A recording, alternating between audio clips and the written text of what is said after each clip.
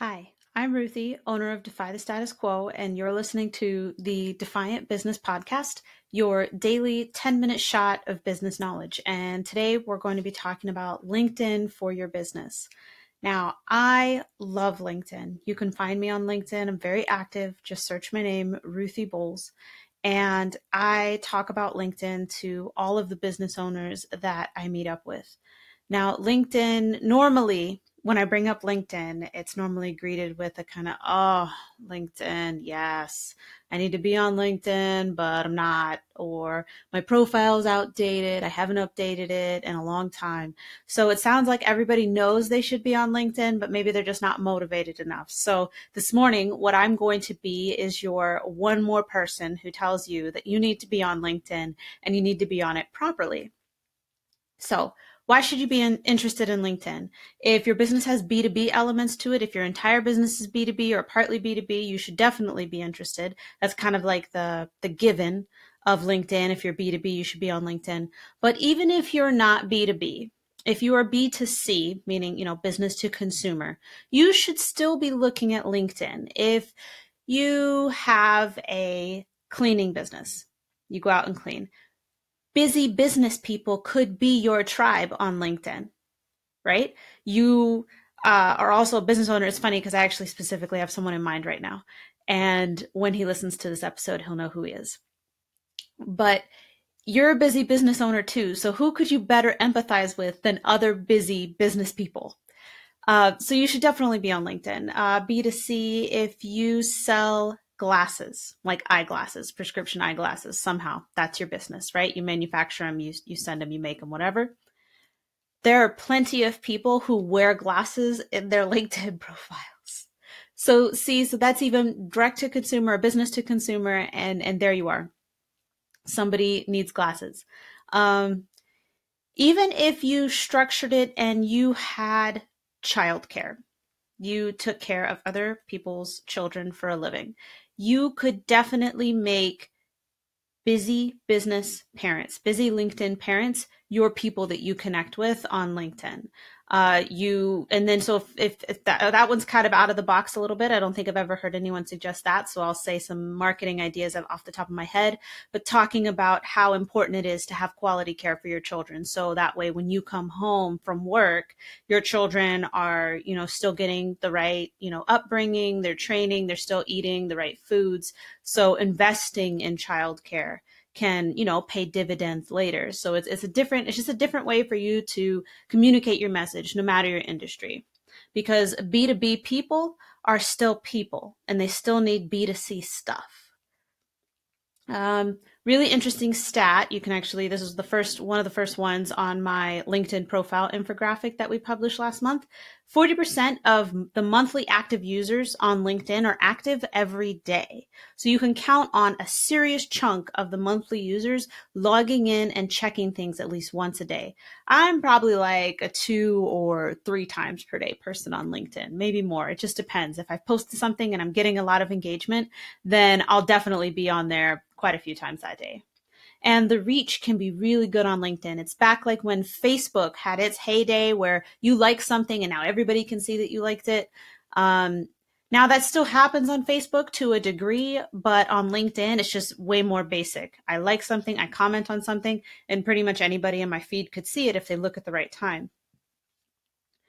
So one of my tips is you need to work. So all the groans I got, oh, I need to update my LinkedIn. You need to update your LinkedIn profile before you start reaching out to people. So if you're an entrepreneur, entrepreneur now and you weren't an entrepreneur before, or your industry has changed, things like that, any major significant changes, you want to make sure that your LinkedIn profile is updated. So the LinkedIn profile infographic that I mentioned, I'll include a link in the show notes. Go check out that and you'll be able to update your profile no problem. So I'm not even going to really dig into it right here.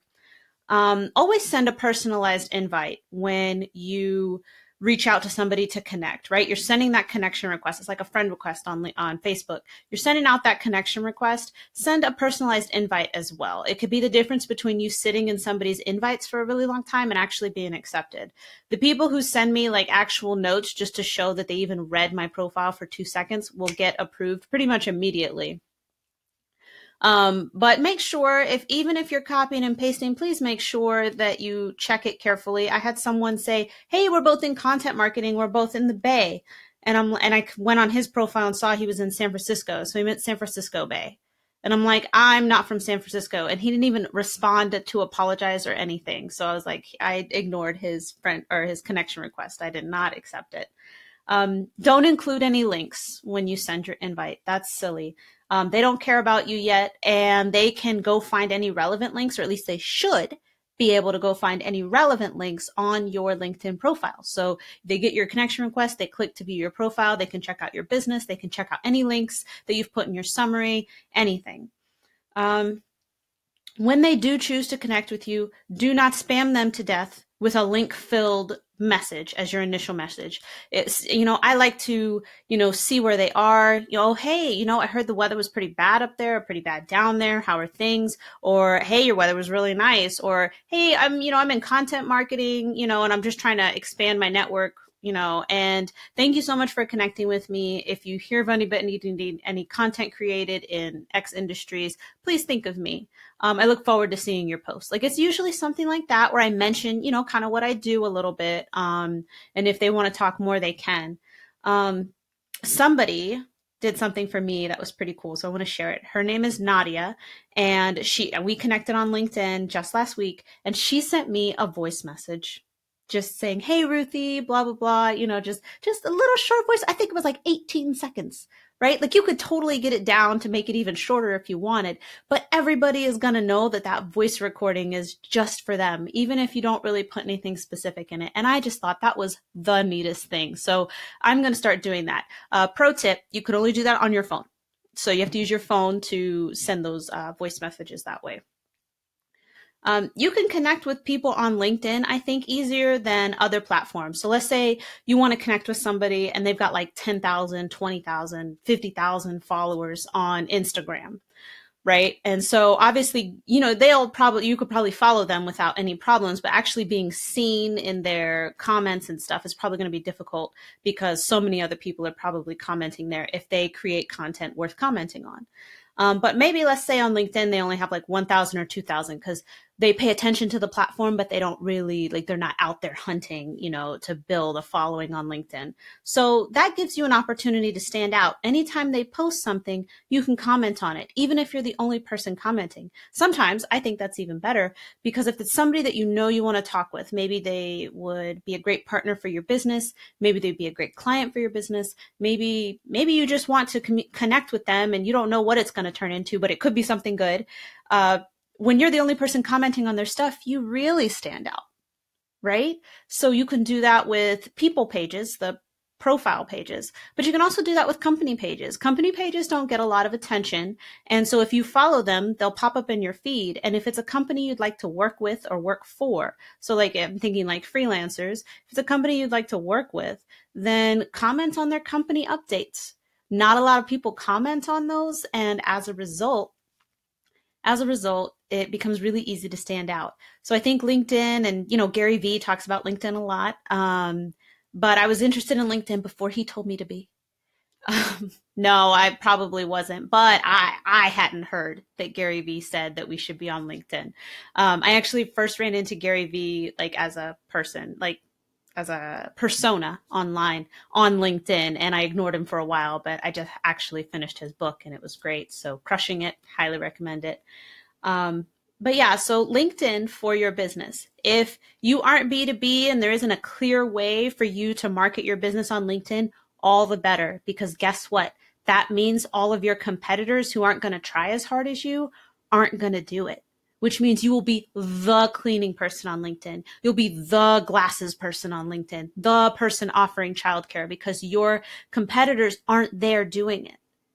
But, you know, should you compete on Instagram? Should you still be there? Should you still be on Facebook? Sure. I'm not saying you shouldn't be there. I'm just saying that you should consider LinkedIn as a viable social media platform to generate leads for your business. Whew, yes, I love LinkedIn. All right.